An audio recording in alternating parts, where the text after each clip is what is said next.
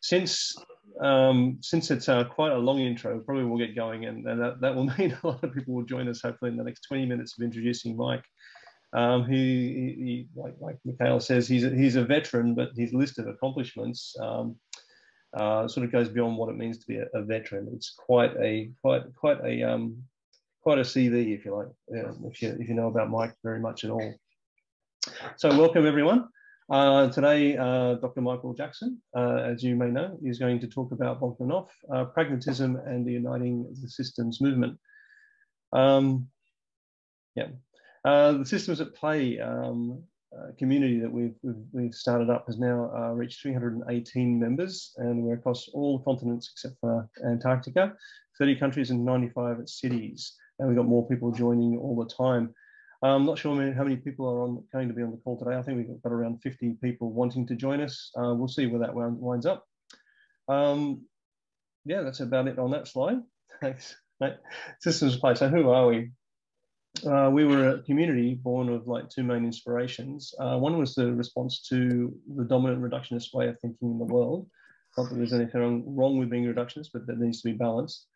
And the difficulty we, we have, and this is something I think will probably touch on, and understand the deep and vast space of systems thinking and practical ways of applying it. Uh, we turn this into a bit of a, of a, passion for ourselves as well, and we're trying to learn together. So Mikhail, myself, and Ali Dad are all just trying to learn as, as we go. Um, we seem to be jumping from, from one thing to the next as we see the next amazing thing in the history of systems thinking and, and uh, obviously of things are emerging as well. Cool. So about uh, Michael C. Jackson. Um, I don't know if I should read all this out. I'll give it a go, Michael. Um, um Michael, Michael, what do you prefer? No, no, I think you should you should go very quickly through it. Oh, very good. So um, Mike's the Emeritus Professor at University of Hull, MD. Um, between 99 and 2011, he was the Dean of Hull University Business School, uh, taking Triple Crown accreditation.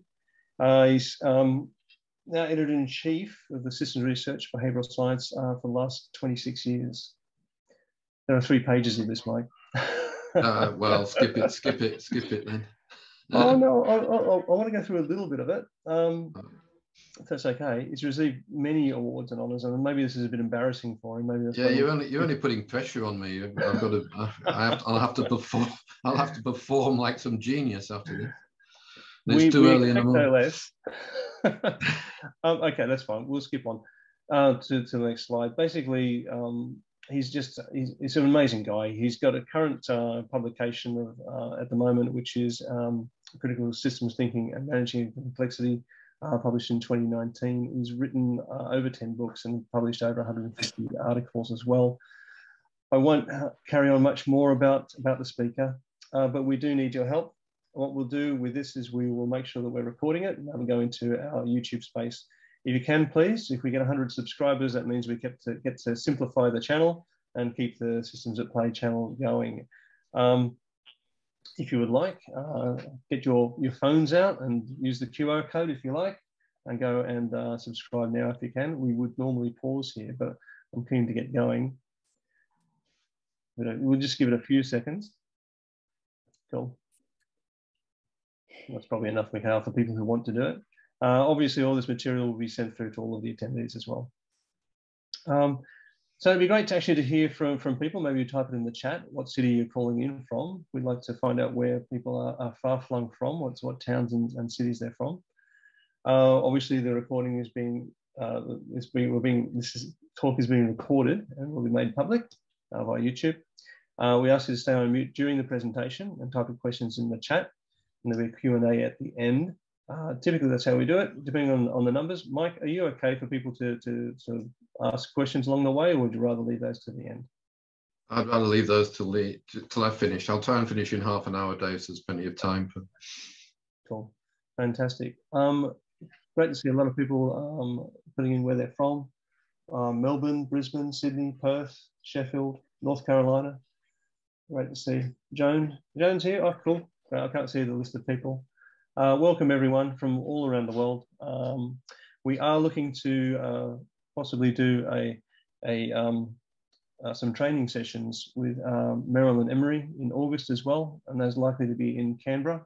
Uh, Marilyn doesn't move around too much uh, in her 80s at the moment, so she's asked us to move that to Canberra. So if you're interested, we'll, we'll uh, put some information on that when it's available and post it into the community. Any questions on anything before we begin? No? All right, cool. Over to you, Mike.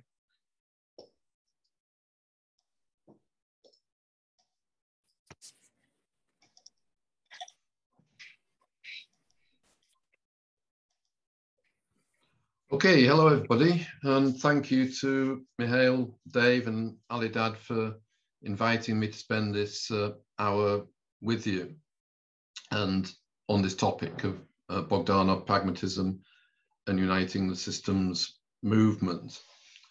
Um, I, th I, think systems movement is is doing okay. Um, uh, as a, a, veteran of that movement, as Mihail calls me, um, I've never seen as the level of interest in systems thinking that I'm seeing now. Uh, and that's extremely uh, gratifying. Uh, people are becoming more and more aware of uh, the need to have something that can help them to deal with the complexity uh, of, of the world. Um, but I think it can do even better uh, if, it, if it unites um, I think if it unites, it inevitably becomes more in influential.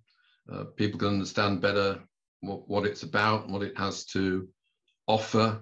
I mean, we claim to have a, an approach in systems thinking that can deal with the VUCA world and the complexity of the world. Um, but if we're disunited ourselves, that's not particularly convincing. Um, so we can become more influential if we succeed in, in, in uniting. Uh, and as I'm going to be saying, I think that's going to require a commitment to a, a philosophy, finding a philosophy that, uh, that we can unite around. Uh, and that'll also enable us to, uh, to talk better with other disciplines. Um, we've got a lot to learn from uh, people in other disciplines, organization theory, physics, sociology, engineering. Um, and uh, if we know what we're about philosophically, theoretically, uh, then I think we can talk more easily to them. What we have to offer that they don't, for the most part, uh, is practical orientation. Uh, systems thinking is the discipline or the transdiscipline uh, for practice, as far as I'm concerned, and, uh, and we can help translate the ideas of other disciplines uh, into practice through the use of systems ideas.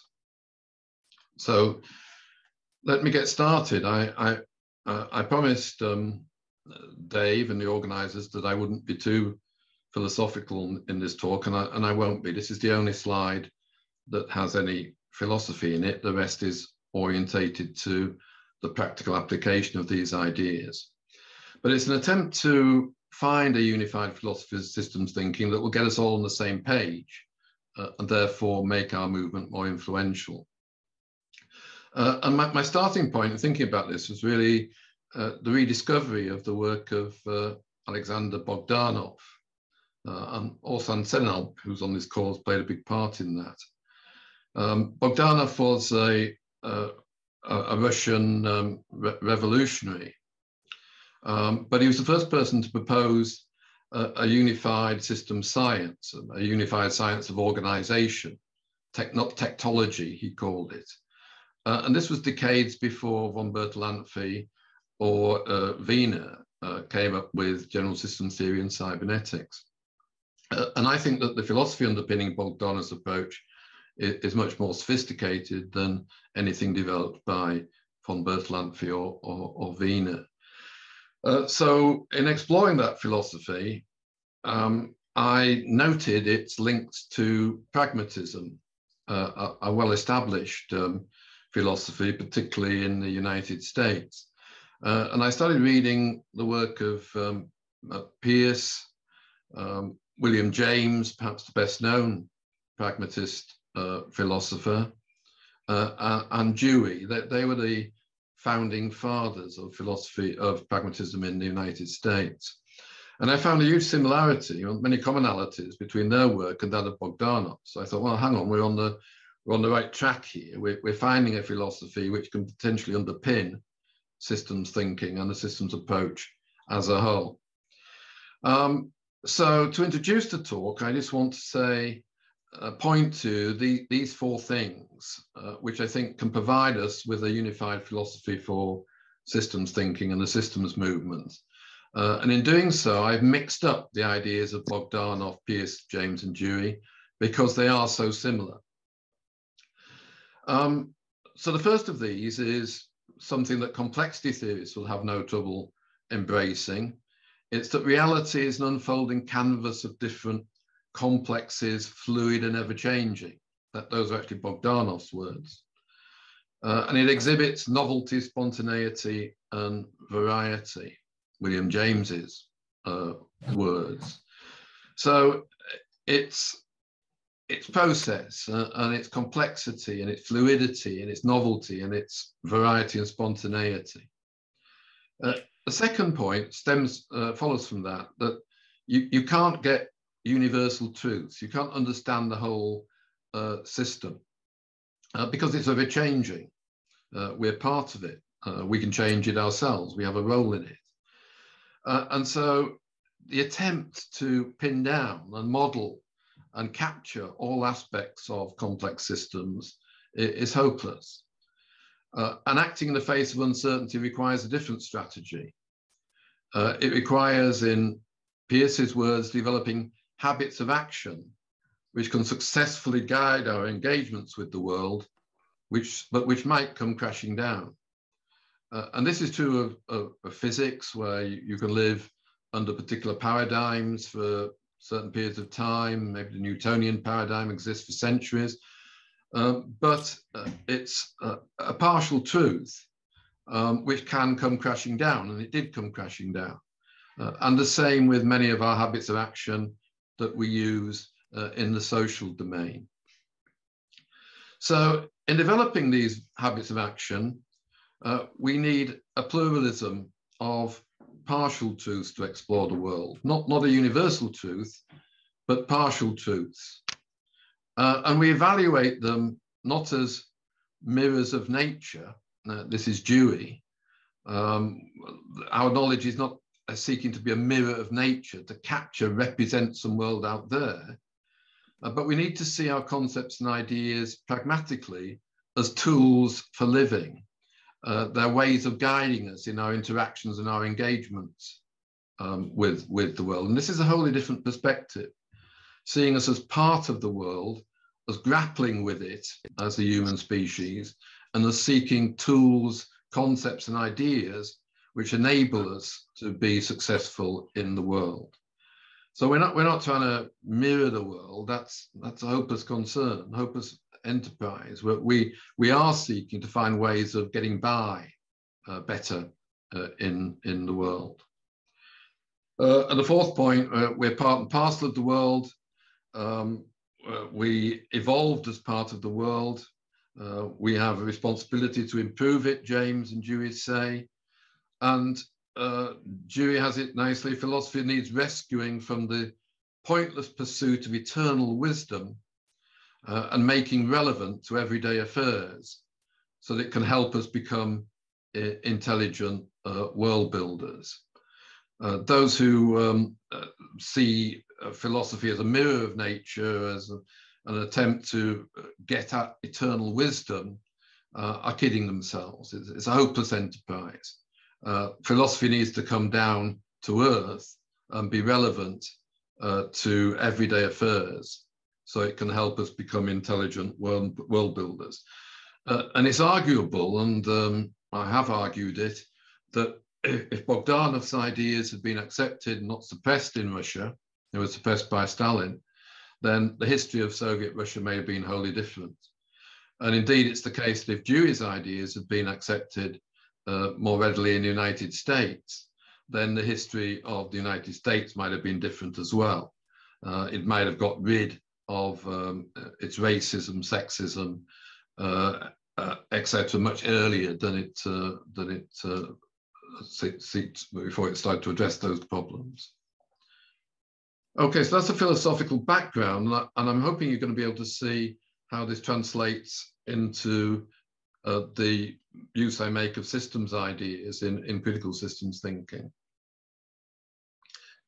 So faced with the world of complexity, spontaneity, variety, etc., according to Morin, uh, systems philosopher, complexity theorist, Svench, uh, you can address the world in two ways.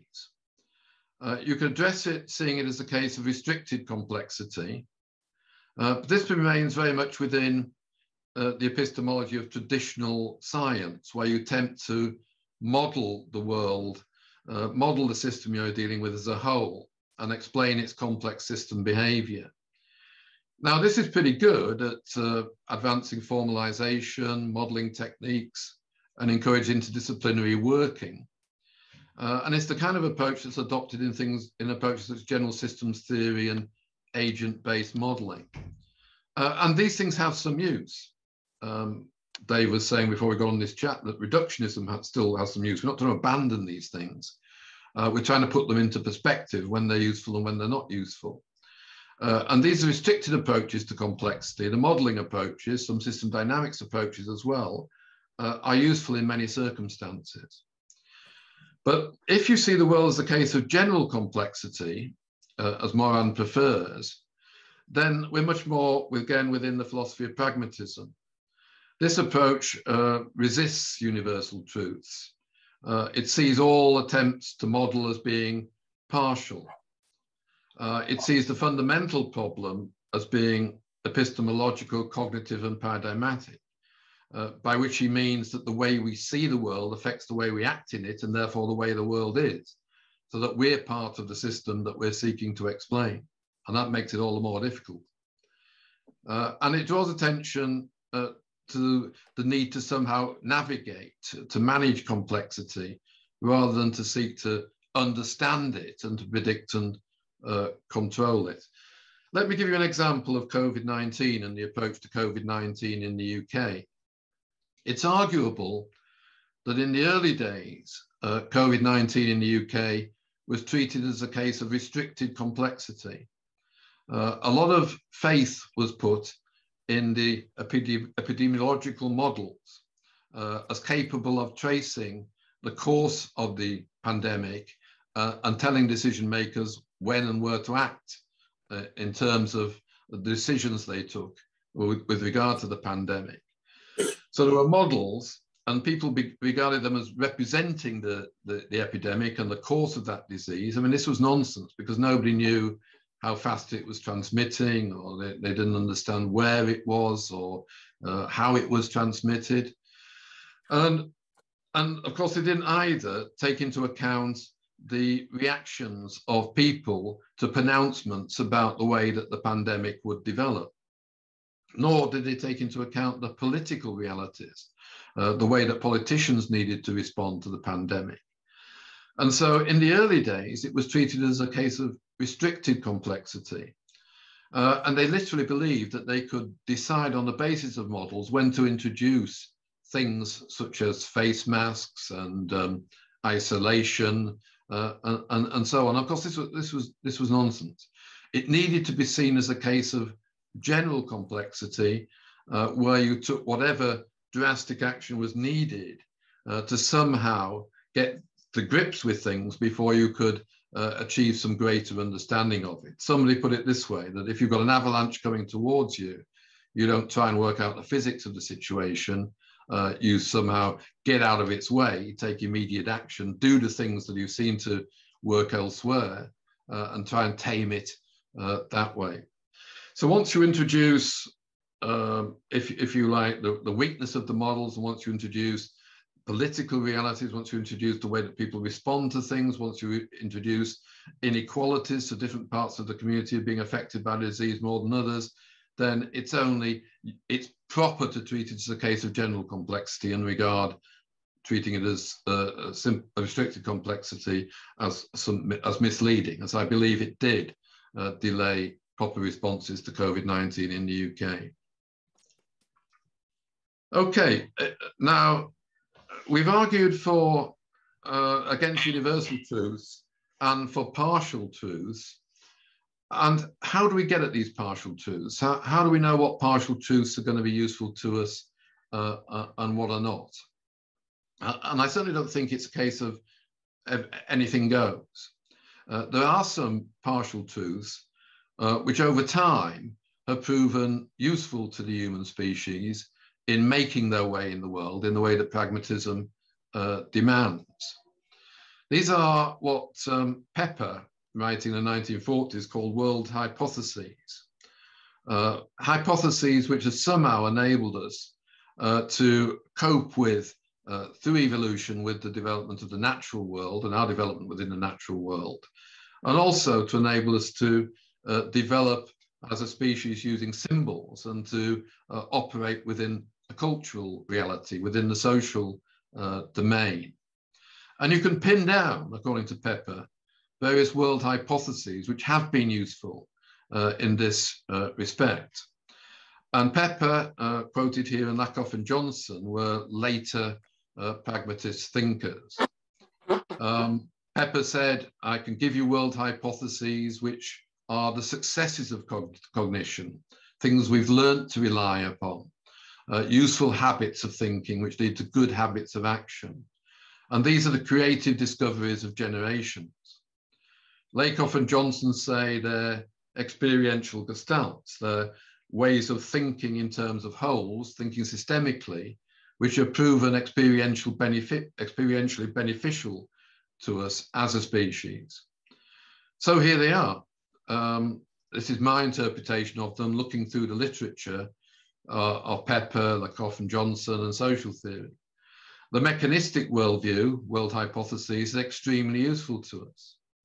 The organismic worldview is extremely useful to us. Uh, the purposeful systems worldview is extremely useful to us and has proved useful to us. Pepper calls it contextualism. Actually, those first three are highlighted by Russ uh, as underpinning a lot of systems th theory the mechanistic view, the organismic view, and the purposeful systems uh, view.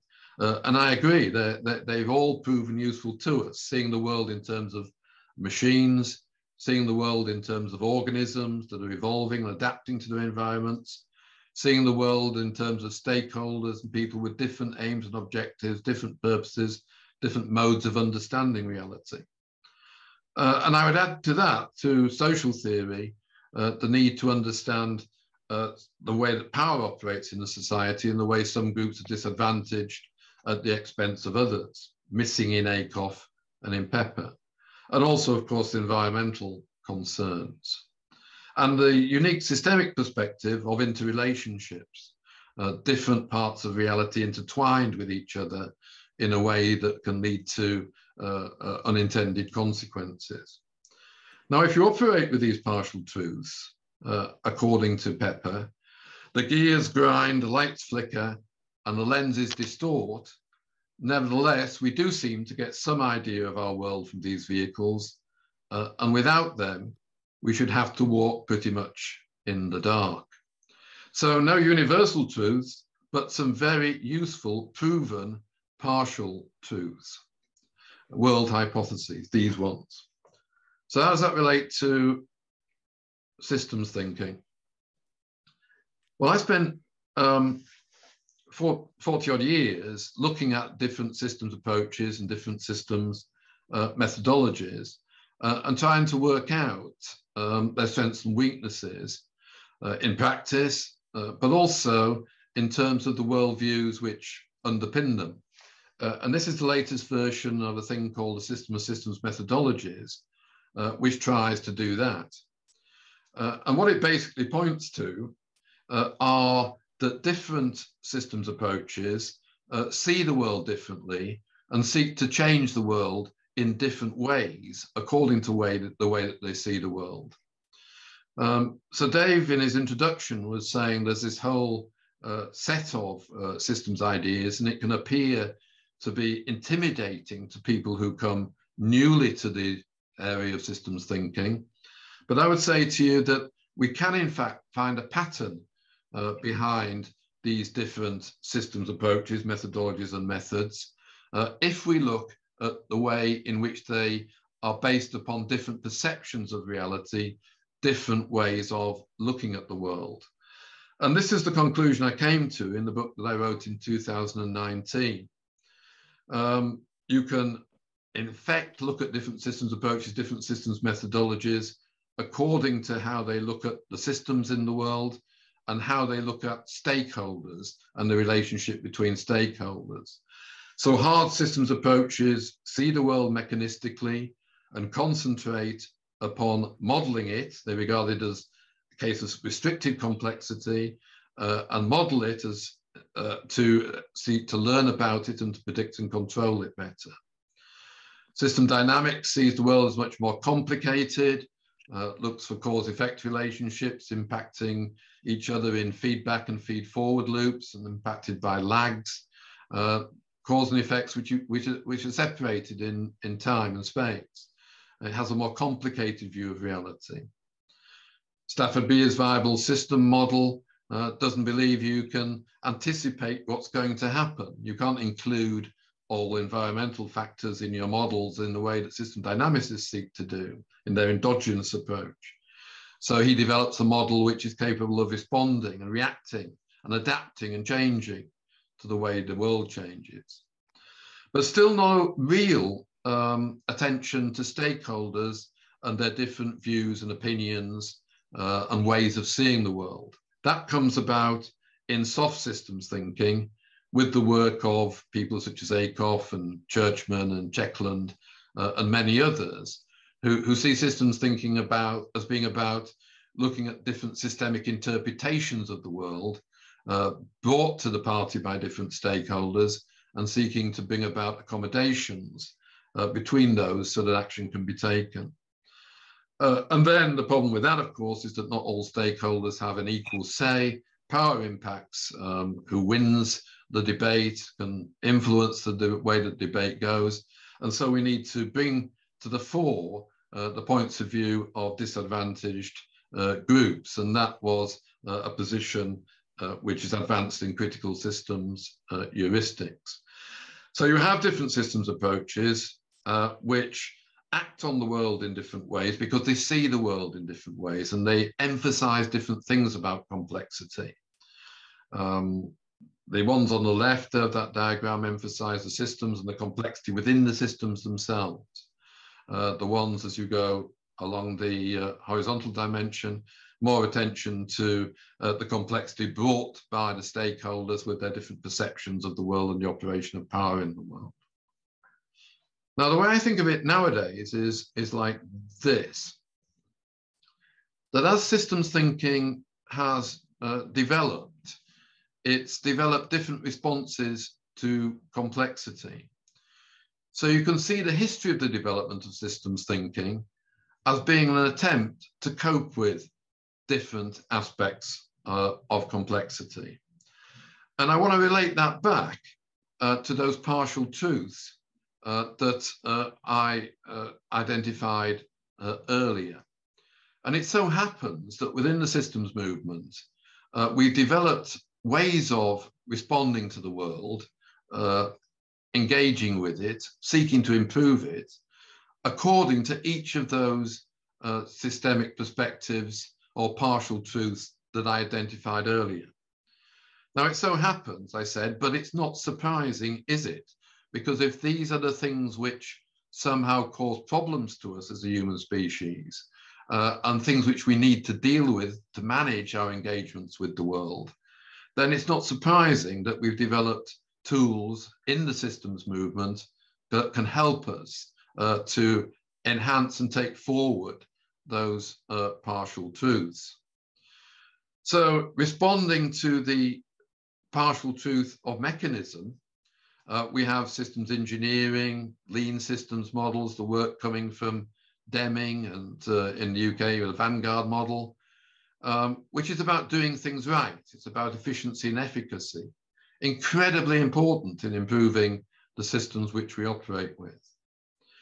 Responding to the organismic view, point of view, we have socio-technical or open systems uh, models. Uh, Dave mentioned the work of Marilyn Emery, who has been flying the flag, still continues to fly the flag for socio-technical systems thinking, or she calls it open systems theory. And Beer's viable systems approach can be seen primarily as an organismic model. And, these approaches promote adaptability, resilience, and anti-fragility. Incredibly important things to think about uh, when, you're when you're confronted with any uh, system that you're seeking to deal with or improve. The purposeful systems perspective has given rise to soft systems approaches, doing the right things, thinking about debating whether we're doing the right things, how to bring about mutual understanding, how to bring about accommodations between different perspectives, uh, how to manage conflict in a way which is productive to organizations rather than uh, endangering their progress. And a societal environmental perspective gives rise to emancipatory systems approaches such as critical systems heuristics, which seeks to bring to the fore issues of marginalization, disadvantage, inequality, and the environmental issues which might otherwise be forgotten about, not embraced, uh, and the interests of future generations. And interrelationships perspective is highlighted by system dynamics, the important linkages which offer leverage points for achieving improvements uh, or highlight possible unintended consequences. And aren't we therefore in a pretty powerful position in the systems movement if we can embrace all this variety of different strands of systems thinking uh, through the philosophy of pragmatism uh, as partial truths, as ways of developing useful habits of action uh, to deal with complexity. So, critical systems thinking, the final slide, is about a pragmatic approach to general complexity, not seeking to stand back, believing we're separate from the world, not seeking eternal truths, but learning by engagement with the world. Practical, we're part of the world, we're engaged with it, we can't be separate from it. We learn by engaging with it. Uh, because there can be no universal truth, uh, it has to be multi-perspectival. Pepper says we need all world hypotheses, so far as they are adequate for mutual comparison and correction of interpretive bias. So we can trade them off among themselves. If we're pursuing mechanical improvement, we can look at the impact that's having in terms of uh, the organismic worldview or the emancipatory worldview. It has to be multiple, multi-methodological. Uh, we need to appreciate the strengths and weaknesses of different methodologies, understand how each has a limited perception of the nature of the world, and then we can perhaps use them in combination to deal with multidimensional complexity. And you have to be flexible in the use of them. This is perhaps the most difficult thing uh, for people trained in approaches such as systems engineering. How do you develop a flexible mindset? How do you enable yourself to see the world in different ways? How can you come to operate multi-methodologically? Uh, it's difficult, but it's crucial. Uh, as Kay and King, King was an ex um, governor of the Bank of England, Kay, a well-known philosopher, a recent book on radical uncertainty say, the mark of the first-rate decision maker confronted by radical uncertainty is to organize action around a reference narrative, I'd call that a partial truth or a systemic perspective, while still being open to both the possibility that this narrative is false and that alternative narratives uh, might be relevant. Flexibility is all important. And we're seeking to bring about general improvements. So we'll evaluate any intervention we're engaged in in terms of the partial perspectives. Is it bringing better efficiency and effectiveness? Is it making more, more adaptable and flexible and bringing about anti-fragility? Is it increasing mutual understanding so that people are on the same page in terms of doing the right things? Is it uh, ensuring that those most disadvantaged have a voice and are being benefited as well by the intervention? And is it a taking account of interrelationships? And so seeking as far as possible, though this will never be possible as a whole, to, to avoid unintended uh, consequences. So I present to you a, a, a vision of a, a, unified uh, systems approach uh, based upon the philosophy of pragmatism, which helps us to understand why we have a variety of different systems approaches, puts a pattern onto it. And I think that on this basis, we can yet further advance uh, the systems movement as a whole. But even more importantly, we can use these very significant uh, and powerful ideas uh, to improve the organizations and the world in which we uh, live. So I'm going to stop there with that uh, with that message, uh, and that's that's the book in which these ideas are most developed. Though uh, even as a veteran, I'm continuing to develop the ideas, and some of the stuff you've seen today uh, is new and beyond that book. Thank you. Just come off mute there. Thanks, Michael. Um, got a few questions in the chat, but I'm sure some will uh, also emerge as we start to get into um, asking a few questions. Um, Benjamin Taylor, uh, first question actually comes from you. Uh, many complexity aligned folks seem to be hardcore realists. Um, is that your observation as well, Michael, or do you want to talk to that at all, um, Benjamin? Oh, sorry. Uh, yeah. Hi, Mike. uh, hi, everybody. Uh, I really. oh, hi, Benjamin. I'm, I'm, I'm so excited by uh, hearing all this as I am every time, Mike. These are just my thoughts thinking along. Um, and, and, I guess my, my questions are a little bit kind of like, um, this is your view, which I happen to agree with. I'm, I, am I'm, I'm not sure that everybody agrees with those interpretations. Um, and I guess I cited Dave Snowden talking about realism. Um, and even in his last book, Patrick Hoverstadt talks about isomorphism between the map and the territory uh, as a goal or a, or a value. So it feels to me as though there's a bit more realism out there than than you're talking about in a, in, in, in a way, particularly in complexity. No, it's a, it's a good point, um, Benjamin, for this reason, I think. Um, I, I, can be hoisted on my own petard because I'm trying to unify the systems movement. Uh, but in actual fact, I've begun to come to the conclusion that we need to expel some stuff from the systems movement um, and unify behind those things which have got a sensible philosophy and uh, a sensible theory behind them and which enable us to engage with 20th century, um, 21st century philosophy, um, you know, which has gone beyond uh, the kind of thinking which uh, still hangs on in some areas of general system theory and in, in, in some areas of complexity, uh, some areas of complexity theory.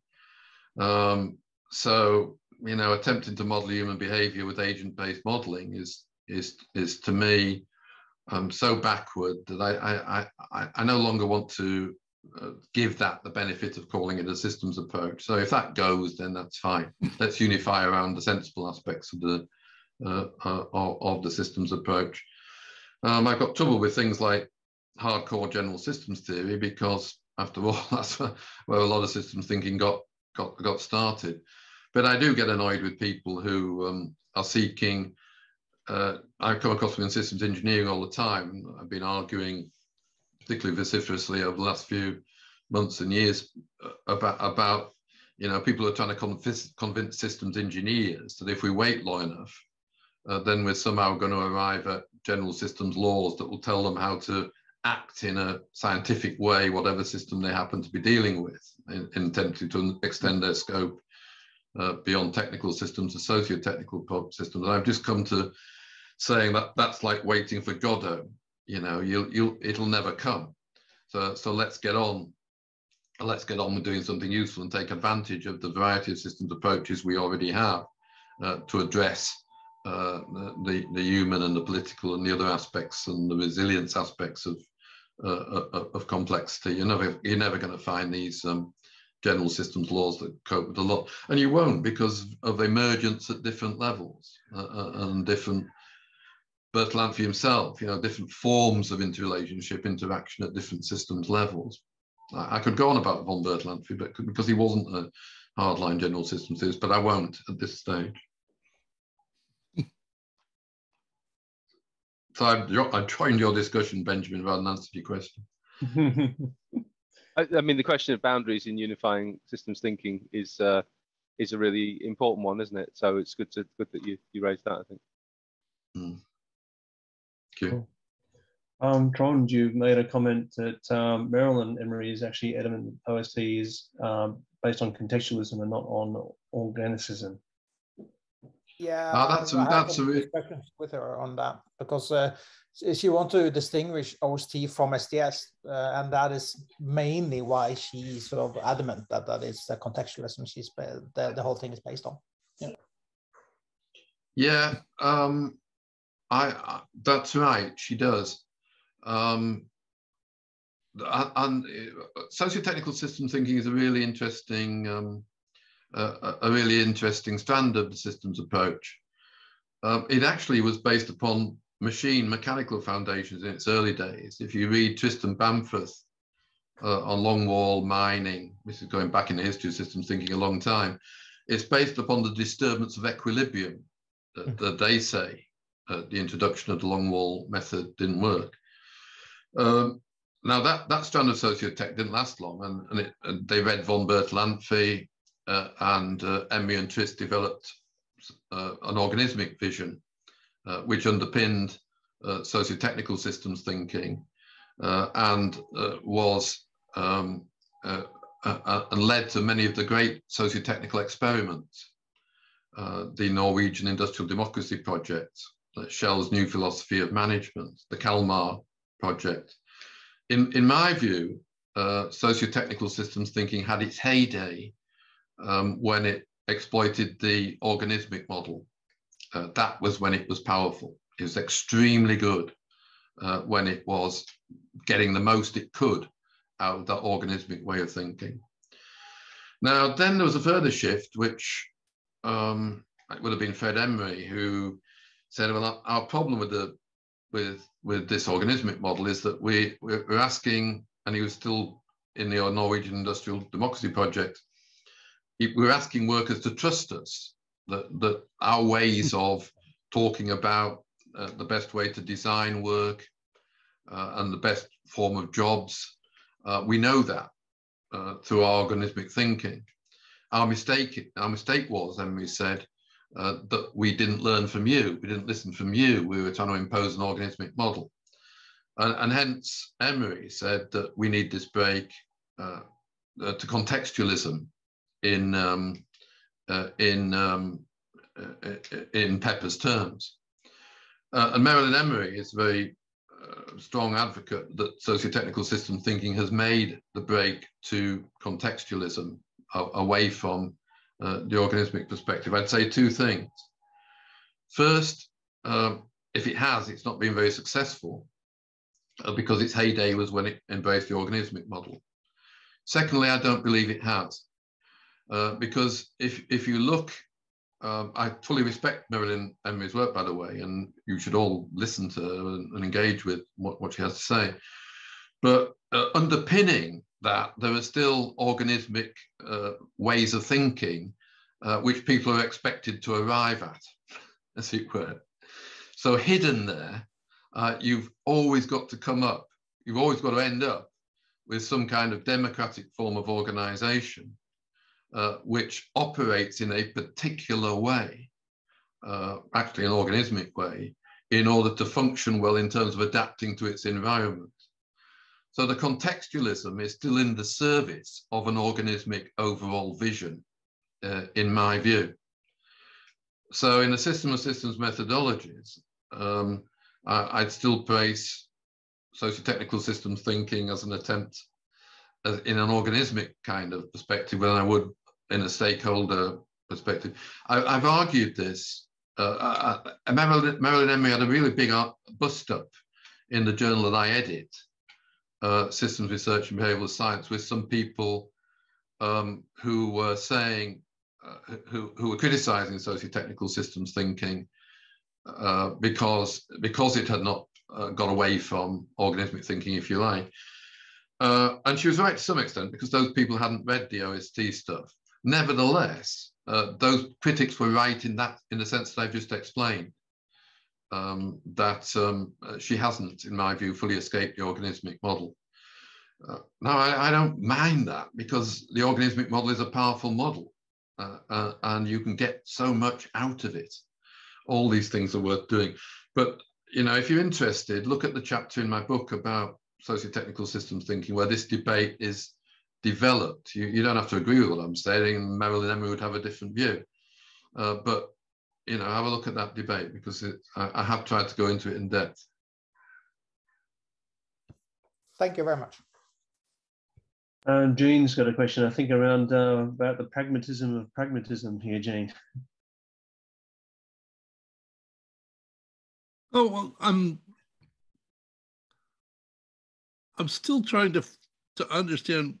You say you're trying to unify the system movements, and I, and I I can't figure out what that means. No, Gene, that's because you see the systems movement as being system dynamics.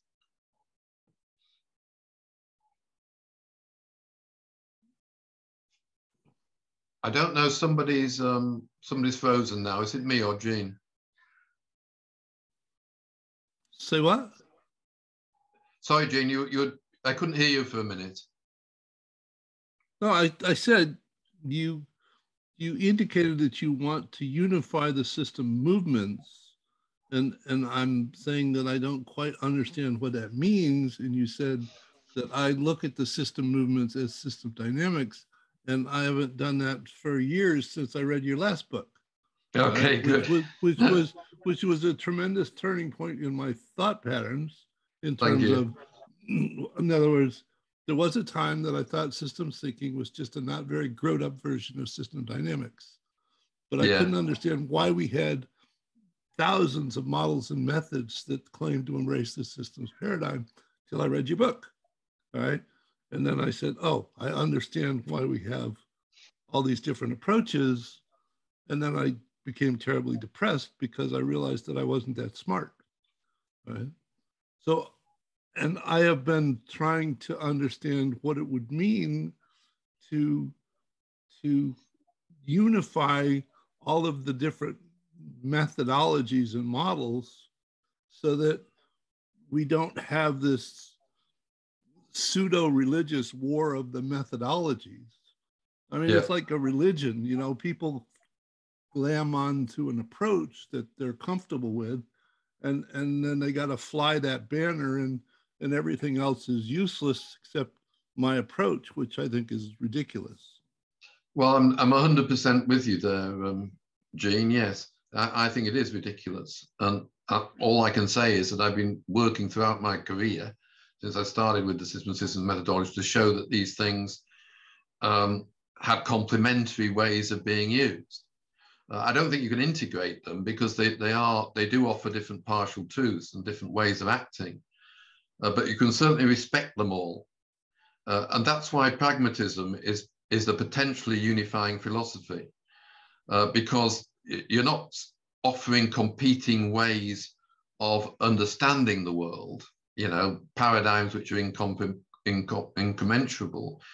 You're offering ways of engaging with the world uh, and trying out in any, in any, in any particular circumstances uh, which of these is going to give you some sort of traction, some sort of ability to bring about uh, improvement in the world.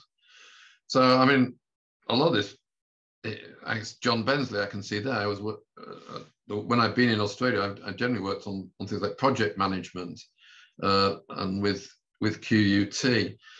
And it benefits you, you see, to see a project not just um, as a, a, way of achieving a fixed goal in a mechanistic sense, but also as something that evolves over its life cycle and adapts and changes.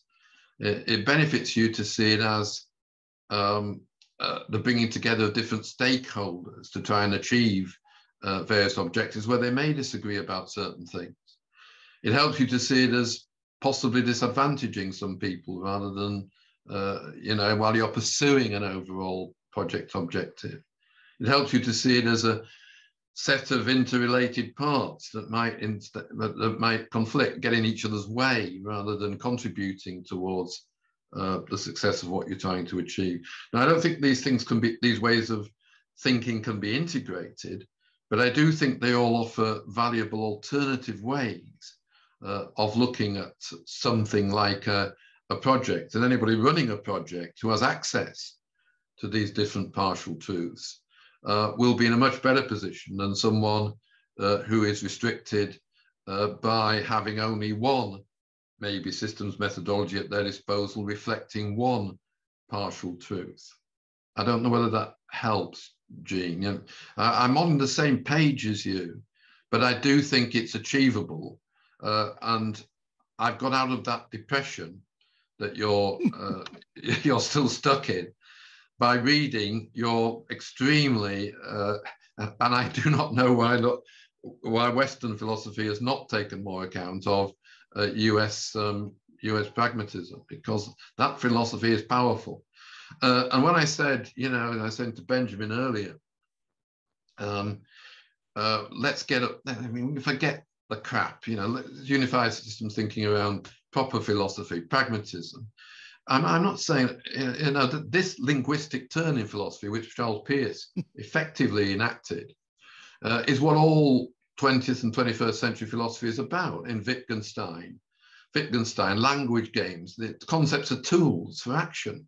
They're not attempts to understand the world in philosophical investigations. In Heidegger, concepts are tools for action.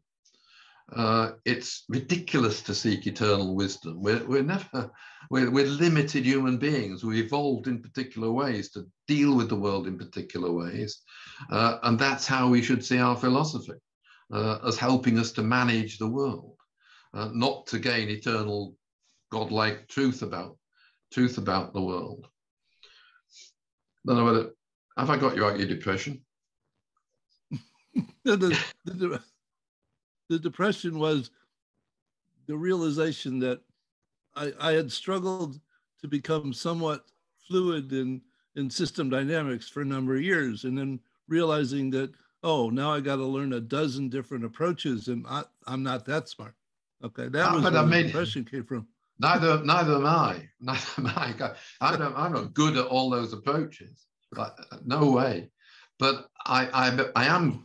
I have believe I have put a pattern on those approaches, uh, which will make it easier for people to understand the variety of those approaches uh, and try them out and see when they're reasonable, bring in people who are better at the particular approaches than I might be or others might be. Uh, according to the according to the circumstances, and you won't know which of them work until you actually engage with uh, uh, with the world. I'm not I'm not asking people to be. I'm presenting an ideal type, if you like, uh, and in practice, the ideal type I present won't be realizable um, because there are always constraints in the world that, that impact will impact what you, what approaches you can use, which you can't. But you can always refer back to this and think, well, you know, maybe I should have given consideration to this, maybe I should have given consideration to that. Uh, and to understand the world through these different partial truths and have these different ways of acting in the world uh, is beneficial.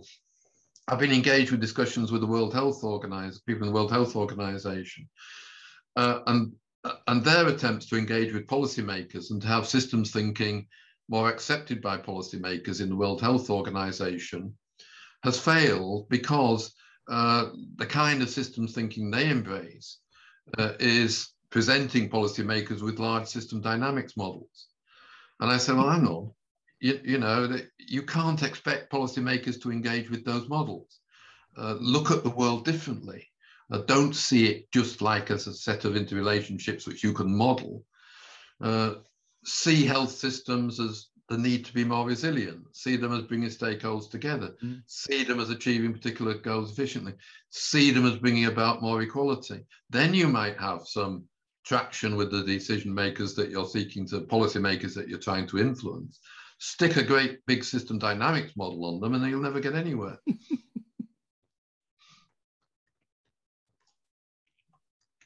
Well, we might uh, we might move on to the next uh, question. Orsan, Orsan, do you have something to add to that um, that query? If I may, if I may, very shortly, because I know I know we don't have time. It is fantastic uh, to see Mike bringing Bogdanov and his contribution uh, within the context in relation to the question of unity of systems field. I um, the direction of my research is now is very much about this topic, um, but also uh, I think I found something really interesting in, because um, this unity debate is emerging and uh, going, uh, coming, coming back and uh, disappearing um, within the field of philosophy of science. There's a very similar unity debate. Uh, actually, this unity, this unity of science was a kind of norm uh, last three, four decades. Now, now the unity of, science idea is coming back. It's really interesting to see like the movements, uh, transdisciplinarity movement is initiated by Morin, Edgar Morin, uh, or interdisciplinarity movements initiated by Piaget, very much systems uh, people, complexity people, and also uh, unity of science uh, systems, general systems theory emerges as a new approach to unity of science uh, by Bertalanffy. And also Bogdanov comes with unified, unifying science at the beginning. So this relationship between philosophy of science, which is which itself emerges as a meta science, which can be applied. I mean, when we look at the Vienna Circle people and the Neo-Kantians, they all think about um, philosophy of science as a meta, meta science you can apply uh, based on mathematical logic um, to, to all different fields of science. Um, it is very interesting relationship between when, when Vienna Circle doesn't uh, able to manage this to, to show that philosophy of science based on logical mathematics is the, the unifying method. Um, that, that it's interesting that Bertalanffy comes in uh, as a systems theory, with, with the systems theory as a unifying science. Um, this interplay between philosophy of science and systems complexity thinking is really interesting. I think we should figure out we should figure out what went wrong and how can we uh, re, uh, re, reapproach to this question.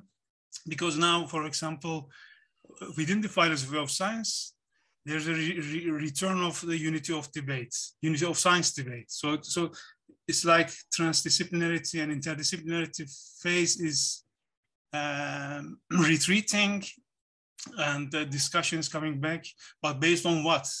It's not logical, it's not logic, it's not linguistic, uh, mathematical logic. So what, what is that uh, ground? I think Bogdanov has a really interesting, sharp, uh, creative approach uh, by looking at everything from an organizational point of view is, is a um, really creative approach.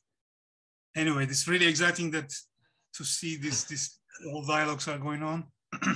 yeah, yeah, it is, Orsan, and um, it's interesting the links with the Vienna Circle um, Bert, clearly was linked in there. So was Karl Popper. Uh, and Wittgenstein in the Tractatus was trying to develop a unified logical language which could underpin uh, different sciences. But of course, Wittgenstein moved away from that, uh, much, much closer to the sort of pragmatic position that I've been trying to describe in, in, in this lecture today. And I just, just read a, really nice book. You might, you might want to have a look at it called Wittgenstein's Poker, because when uh, Popper, representing, if you like, a unified science perspective from the Vienna Circle, uh, only met Wittgenstein once. Wittgenstein, by this time, had changed to away from Tractatus philosophical investigations and language games, a much more pragmatic approach. And it ended with Wittgenstein trying to hit Popper over the head with a poker uh, in a seminar room in Cambridge. and and that book, Wittgenstein's Poker, uh, in a sense, addresses this issue of uh, the potential for the unif in a nice novelistic. Not, it's not a novelist. It's an attempt to reconstruct what happened uh, leading up to that debate between Popper and Wittgenstein. Uh, but it's about that kind of issue. We won't be hitting each other on, over the heads with uh, with pokers or or sand, but if you carry on the, on the unity of science view, then I, I might be hitting you over the head with something. cool. We've, we've actually reached time. Um, I wondered, Mike, if you can stay around for a few more questions, if that's possible. Yeah, it's not a problem. Great. For anybody who has to leave, thanks for joining us. And um, we'll make the, um, the video available when we got it um, ready to go. Uh, the next question that we have in the chat was from Pat. Um, let's try to find that. Pat McKenna. Uh, Pat, do you want to ask your question? Uh, yeah. Hi, Mike. Um, Hi. Thanks. Thanks for the presentation and the and the chat. Um, I was wanting to get an idea of where you're heading with the system of systems methodologies because you, you showed us tonight um, on that slide there were five methodologies there. Are you slimming down the number of methodologies or was that just a, a simplified version for tonight? Uh, the, the, the system systems methodology Pat has been subject to a lot of misunderstanding in my view, of which I was partly at fault in the early days. And people tried to say, well, if we can classify a problem into one of these boxes, then we can choose a methodology that um, is suitable for it. And uh, clearly, that's not a, a, that's not a very good way of looking at it. Um, so you, you, have a range of systems methodologies available to us. Uh, and as it says, it's an attempt to be a system of systems methodologies, to look at what they're good at, what, what they emphasize, what they're strong at doing and what they're weaker at doing, what they can address and what they can't uh, address. Uh, but I, I, I, also am conscious that you can't you can't pin um, methodologies down quite as easy as we might have thought that uh, was possible in the early days, which is why I presented it with fuzzy edges and all the rest of it. Uh, the 2019 book has a more uh, has more method. Uh, the 2019 book chooses 10 methodologies that I feel have been most influential in the systems movement in the sense that they have good theory behind them uh, and have been used practically.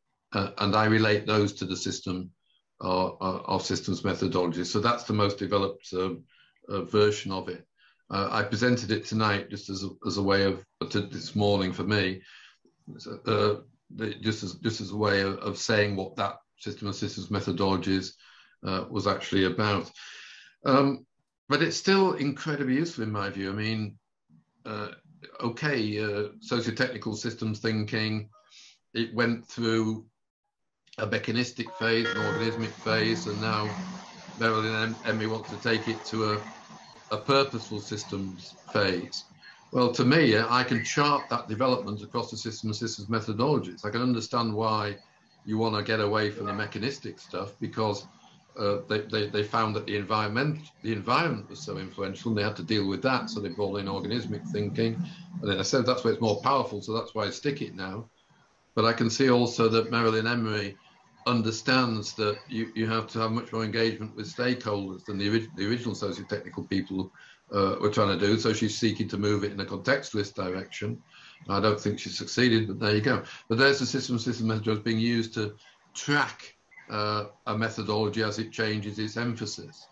So you can pin it down in terms of the different different ways in which it's developing and what it's what it's providing insight into. Does that does that help, Pat? Yeah, great. Thank you. Cool. Um, John, are you still with us? I'm not sure. Yeah, John's still there. John Mortimer. Um, really, more of a comment than a question. Do you want to just go through that really quickly, John? Uh, hi there. I hope you can hear me. Um, yeah, I find it. I find it really interesting that.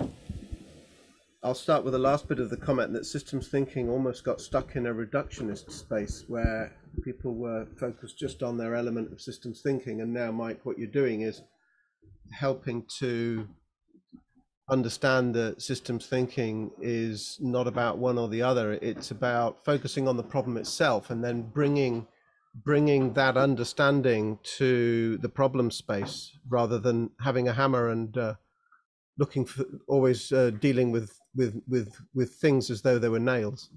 What's yeah. interesting, I find, is that a lot of the uh, newer people that are coming into systems thinking are are coming at it from perhaps a different direction to the academic functional approach that it was in the past, and looking at just tell me what it is in in a very brief example um, where it's about the connections between things or it's about standing back and looking at things as a whole and then going into each of the elements and looking at it that way. And i find that a very healthy a very healthy uh, way of beginning the journey of systems thinking which i mean mike you gave a good example of, of the who how do you approach a large organization how do you approach people first with something that they can grasp and make sense to them, and then carry on that journey of learning about systems thinking.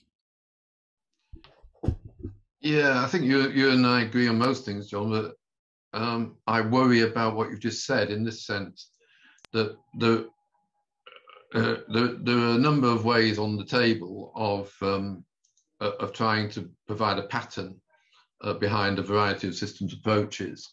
In other words, so that you can have somebody all calls it an elevator pitch um, that will convince people. Uh, let, let me put the two to you in, in opposition. Um, there's DSRP, which is the Cabrera version, uh, which I think is an, extent, an extension of what you, you just said. You, you introduce people through the concepts of distinctions, and relationships, perspectives, systems, etc. That's one way of doing it. Um, my way of doing it is, as I've just explained, is uh, to say, well, actually, let's work out what partial truths are useful to us and see whether we've got systems of approaches. Uh, and therefore say, well, actually, we, we can we can pin this field down and, and say that uh, certain approaches pursue a, a, mechanistic agenda, some are, are contextualist, some are um, uh, an organismic agenda. Now, I don't think that's complicated. I think that's as easy to understand as DSRP. The advantage it has over DSRP is that it's philosophically tenable and it's not confusing.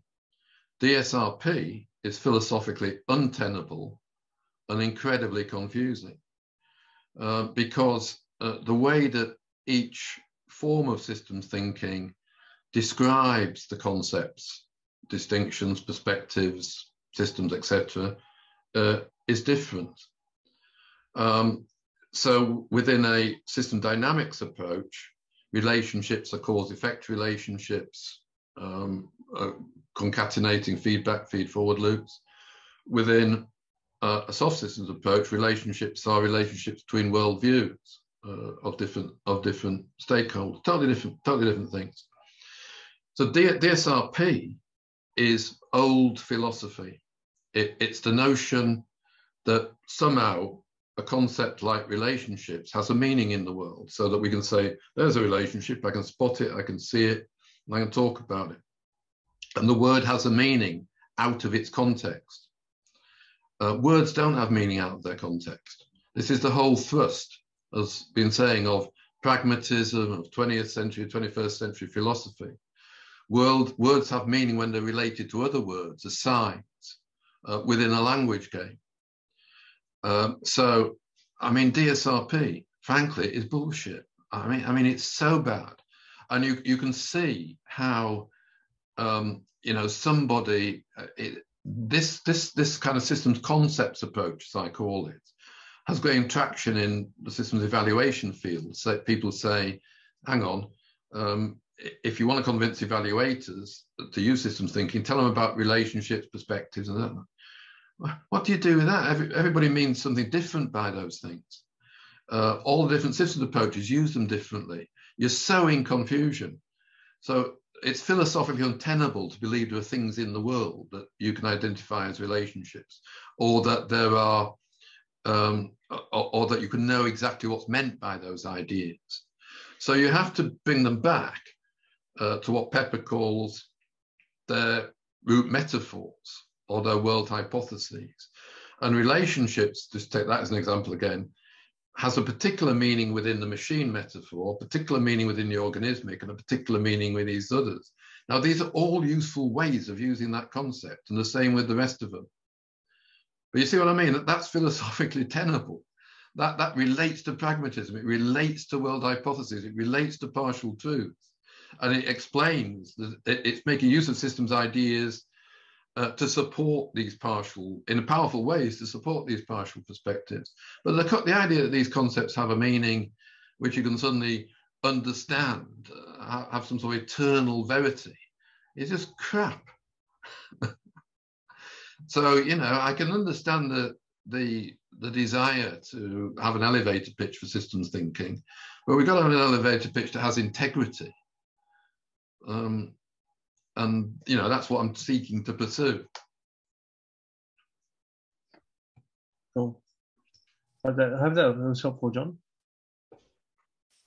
Uh, thank you. No, I think uh, I think Mike, you've made you've made a really interesting point there, where almost uh, it seems like where you're going is the fundamental element of systems thinking is worldview uh, in one way and yeah uh, yeah yeah that, that's right uh, systemic yeah. um but i call it systemic perspectives because you know they're gestalts they're, they're, holistic ways of seeing the world. So i don't think that's a problem with that. I don't uh, um, uh, uh, of, do, of doing that. But yes you're right. I do see that as more important in a sense than the than the concepts, the concepts themselves. We ain't gonna, we, as systems thinkers, you know, we got we got, we got to be less arrogant. We ain't gonna solve problems that 2,500 years of philosophy hasn't has, has been dealing with and seeking to, to tackle. You know, Aristotle v. Plato. Hang on, systems thinking. Just bring the concept of distinctions to it. That'll solve the fucking problem. Hmm. Well, it won't you know, that we have these different perspectives, these different worldviews, and we can employ systems ideas productively to enhance those worldviews. But it ain't going to replace these visions, root metaphors, world hypotheses, which have been around and dividing philosophers, sociologists, and the rest and the rest for thousands of years. Hmm. Thanks, Mike. Uh, just uh, I'm getting some some soft pressure from Ali Alidad now to re-mention the the course with Meryl, Marilyn Emery uh, coming up hopefully in August. So just thought I'd mention that again. Um, yeah, like like Mike says, she she is pretty amazing, um, and I think it's it's always interesting when you're uh, learning new stuff and going to to see these things that you can actually get these different perspectives as well. And I think it is about holding these multiple perspectives on on what um, what is we're looking at, systems thinking as well. Well, I was I was much um, uh, I was excited when I saw that uh, Fred Emery had drawn mm. heavily on Pepper in thinking his way through the changes that they were making in socio-technical systems thinking. So there's certainly very much common ground um, there bet- between what I've been saying and, and what mm. Marilyn Emery is pursuing in trying to take socio-technical systems thinking, if you like, shifting it, uh, providing its strength to another worldview, contextualism, she would say, mm. rather than the organismic view, which has served well in the past my view is that it's better sticking with its organismic um, stuff because that's where it relates more most closely and um, and is most valuable. It's um, a it's a huge huge opportunity for this community that you're you're giving this community to engage with Marilyn Emery. Thanks, Mike. Yeah, it's um, it is a big opportunity. We're, we're pretty amazed at, at actually bringing it to, to this group. So hopefully we get to get to get a few tickets sold, as it were. But um, we won't talk about ticket sales right now. Um, and if you, but if you're interested, reach out to the community. We'll we'll put more details up as they as they come through. Uh, awesome. You had a pretty um pretty on the on the spot sort of question there about the linguistic models. Mm, well, I I was trying to formulate the question to Mike because what I see in Bogdanov, this organizational point of view, organizational, scientific, monistic worldview is really important. I mean, he reaches to this conclusion. He thinks this is not something new in Spinoza, Peirce, Marx. He sees everywhere this evolution of this worldview, world hypothesis. So he thinks like this. I mean, language is, is, is itself like an old ideological, ideological forms. It is a, it is to organize the world It is to organize yeah absolutely absolutely that's the pragmatism of uh, in, in bogdanov yeah exactly um, so this language itself emerges like all the other social institutions in relation to uh, human relation to nature and yeah. he calls activities and resistances so he sees these activities and resistances everywhere like in language so so language and mathematics is not one specific ground to unite everything, but it is itself an organizational. You can look at language and mathematics as an organizational tool. Uh, so, so this idea of looking everything from organizational point of view, mechanistic, organismic, uh, linguistic, you can look at everything as an organizational uh, process. So, so this this grounding of uh, he says, I mean, this is not something new.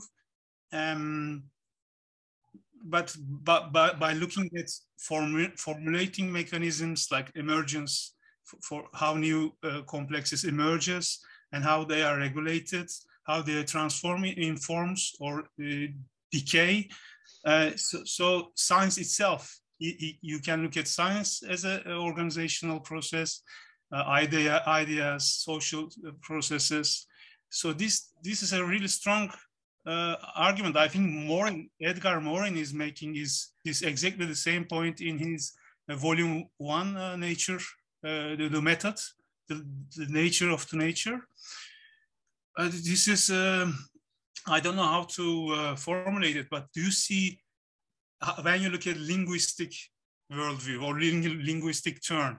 Oh yeah, the linguistic linguistic turn is has got to be accepted, and and um, uh, Bogdanov is the best. Well, Dewey as well, and this is why I started making these links. They they, they both see um, uh, language uh, uh, as, as, relating to people's engagement with the world. They say Bogdanov is the uh, is the strongest in, the way that uh, he he says. Well, actually, it's language developed as part of social organization.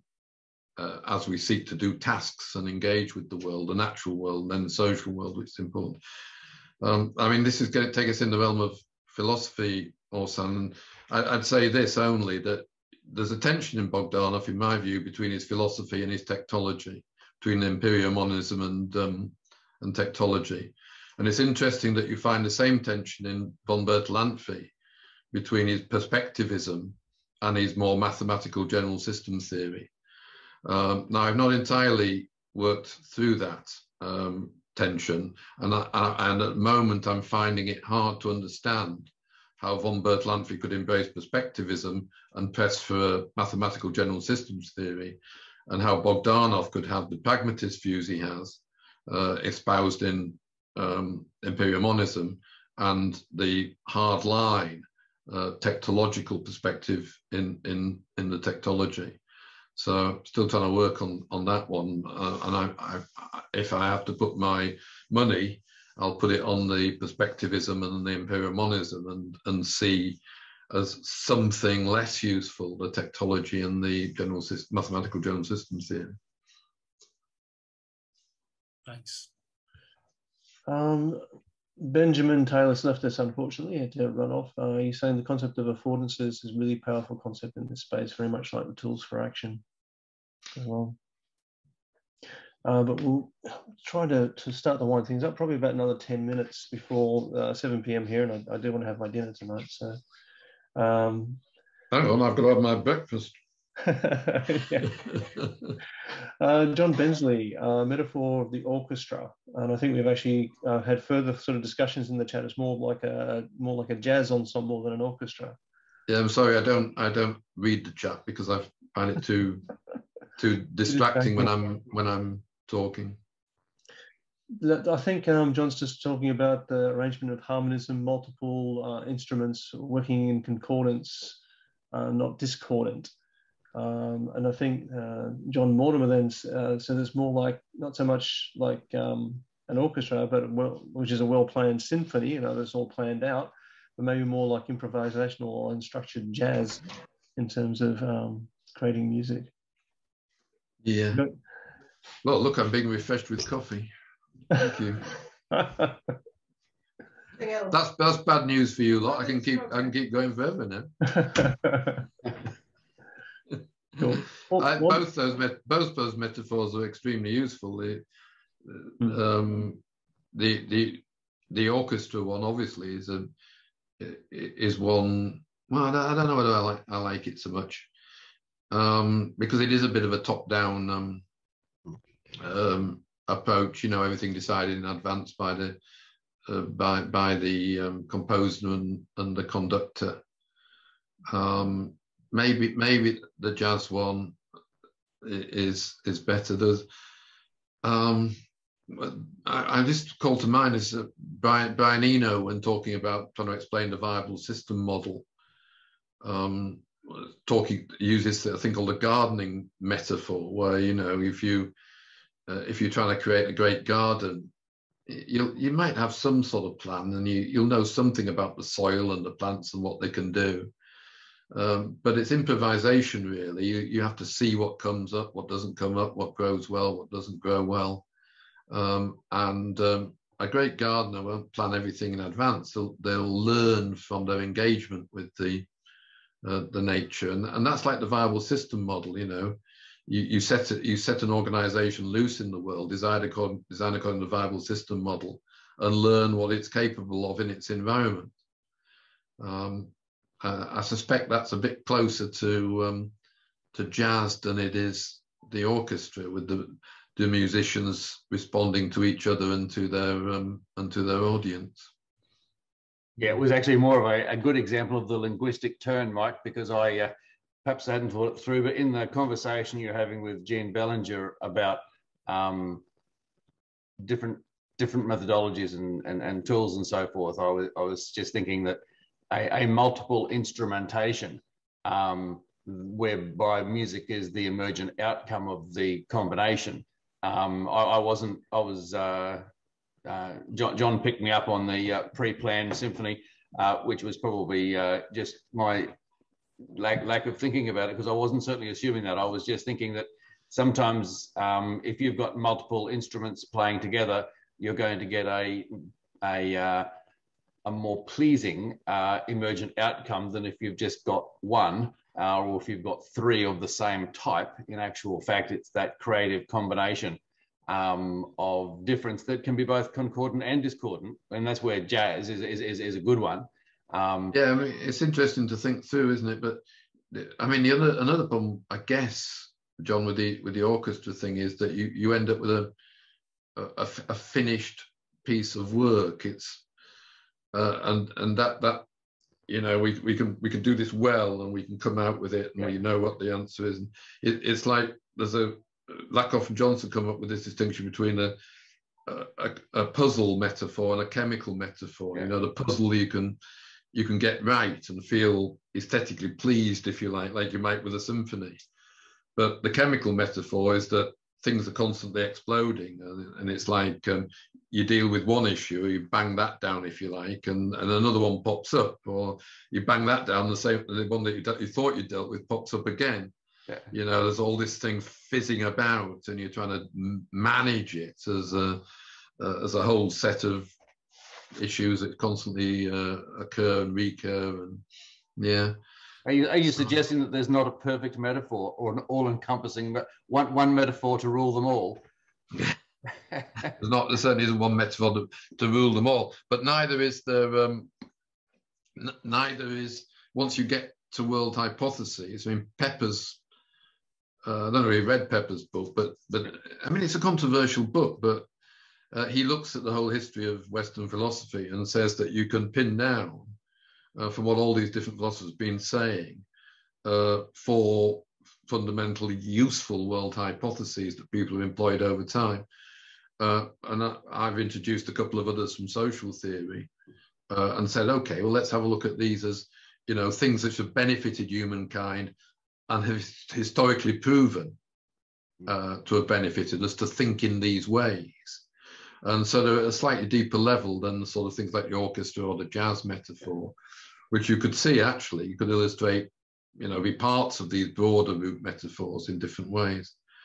Um, and, and, so I would, uh, I, I, you know, it's, it, it's, it's certainly getting away from universal models, but it's also not. It's also uh, trying to resist the notion that anything goes. It's trying to. It's trying to um, say, well, some ways of thinking are more useful than others, and these are the ones which have been proven useful over time. Cool. Um, I'll stop asking questions from the chat. And the last four minutes we have before the turn of the hour, does anybody have a, a burning question that they would like to ask Mike whilst we have him? I'd like to say thank you. Definitely. Thanks, Jane. Thanks, G. Yeah, I, I, have a quick question, if it's okay. Sure, John. Um, this idea of having uh, a common set of systems thinking general principles, which I think uh, you're alluding to, Mike, uh, this isn't where we should be going. We should be looking at uh, the uh, individual methodologies and pulling them in uh, appropriately. however, just looking at an organization, because I only really work with organizations, and I do use some of these different elements, soft systems thinking, the more me mechanical um, flow, I tend to find that there are inherently fundamental principles that cover those if you look at an organization. And one of them, for instance, would be to stand back and look at the whole the whole flow end to end. Now, every organization I go to, that seems to be what we would do, whether it's a mechanistic, whether it's a soft, whatever it is, whether we're looking at stakeholders as soon as we don't do that, we get into trouble regardless of the methodology. And I'm wondering within, let's just say, organizations, um, applying systems thinking to organizations, that there does seem to be a common theme of the same types of principles coming up time and time again. And I'm wondering if that's a way of attempting of of where these different methodologies may link. Uh, yeah, I mean, I, I can see something in that, John. And to reinforce your point, I was um, at, a, at a seminar, it was at Hull actually, just a couple of weeks ago, and somebody was going on about um, uh, the the critical systems heuristics stuff and and how that was the basis of all systems thinking, and you had to start with all that. And somebody suddenly asked them, "Have you ever worked for a profit making organization?" How many profit making organizations have you worked for? And the, the answer was none. So people's experience is, uh, is, is crucial in the way that they, they, they believe particular systems approaches are most useful. And, and of course, you're right. It, it, you know, um, uh, but you, if you find that approach one which gives you traction in the sort of organizations you deal with, you, you still, I guess, wouldn't uh, would regard yourself uh, as as better armored uh, and equipped if if you have these other approaches in the background, and you don't forget that you might, through improving the flow through an organization, be making it less resilient or less adaptable, for example. Um, that that's what this approach, this is what this is about. It, it's um, having those, as John Kay put it, alternative narratives, um, which you can come to your aid, come to your aid when the, the narrative that you're using um, is um, uh, is not working or is, is bringing about results that you that you don't you, you, you don't want. And unless those alternative narratives are available in your brain from the beginning, you'll never see that the the narrative that's driving a particular approach is work is not working. All you'll do is reinforce, as you say, the hammer thing. You you'll try and hit the thing even harder. Um, hmm. but yes, I mean, I think that's really important about uh, the experience the different systems thinkers have had, and and therefore the way that they prioritize uh, some of these metaphors, or these world hypotheses over others.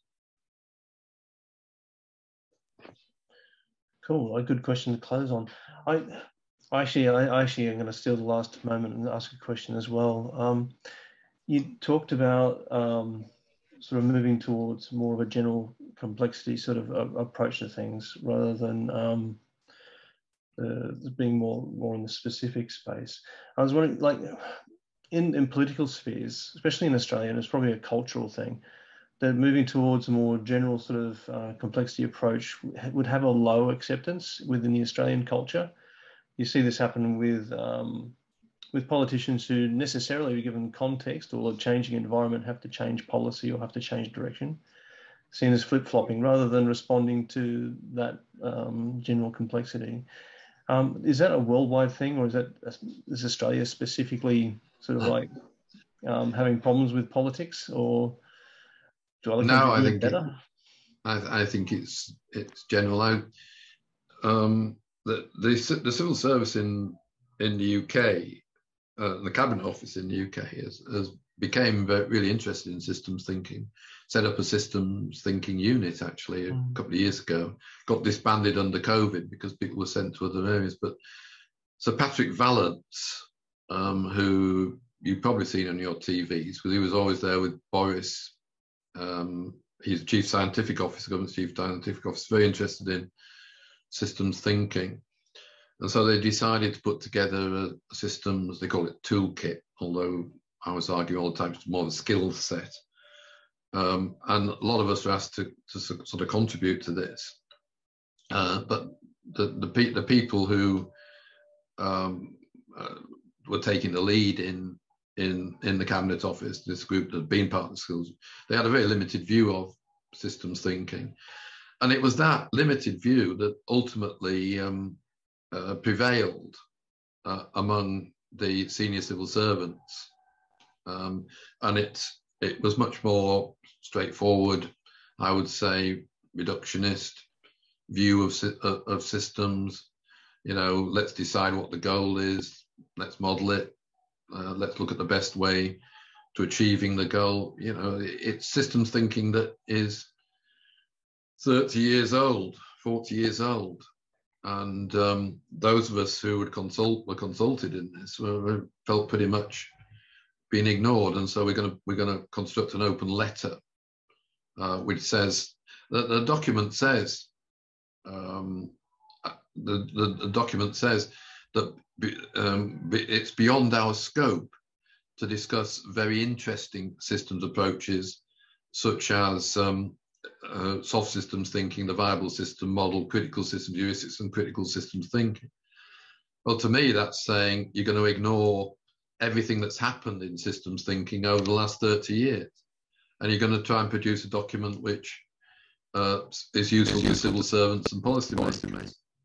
And you know, I can't, I can't. It's more of a system dynamics document that's emerged, and I can't see civil servants sitting down drawing stock flow stock and flow diagrams. I'm sorry, I'm going to do that. Um, so this is very disappointing, but it, it's it's perhaps an example of what you, you, you're describing there, Dave. Is that people people rather than engaging with complexity want, want a more simple solution and but as somebody said you know there's lots of simple solutions about which are neat and uh, convincing but they're usually wrong.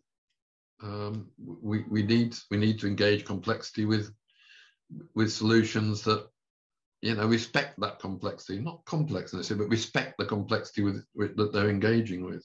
Mm.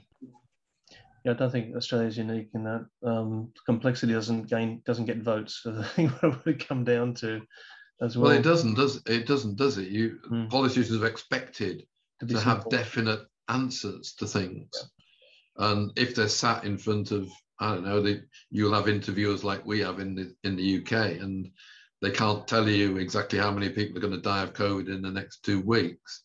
Then they're regarded as not worthy to not hmm. worthy to sit in Parliament. Hmm. Cool. Well, we might um, might call it there unless um, anybody has one last question. Going, going, gone. Okay, good. Okay. Um, thanks very much, Mike, on behalf of Alidad and Mikhail, and uh, thanks for everybody to, for contributing as well tonight. It's been really great to have you, Mike. Uh, quite a for our little community, quite a feather in our cap, cap to have you along. Um, had some great speakers, and, and you're definitely counted amongst them. So thank you very much for for that. Um, thank you, Dave. Cool. Alidad or Mikhail, anything to, left to say? I think Mikhail might have might have left us, but and left the left the recording running. Thank you so much, Dave and Mike and everyone. The, I sorry I was in transit and I could just join for the last half hour, but even this last half hour was very interesting, particularly with really mm-hmm. great participants asking very good question and sharing their experience. And thank you so much, Mike. I echo everything Dave. No, yeah, I, I let me um, let me uh, say the same, Ali, Alidad. Uh, great questions, great participants, and uh, happy to do it again in a few months um, if you are, because I've enjoyed it. Right. We'll take you up on that, Mike. With that, we'll, uh, we'll, stop the recording there. And um, if anyone wants to stay on the on the call, I'm not sure if it um, it pops off when we when the organisers go. It probably does. But please feel free to hang about. Thanks very much, Mike, and everyone. Okay, I'm going Thank now. You Thank much. you very much. Cheers. Thanks a lot.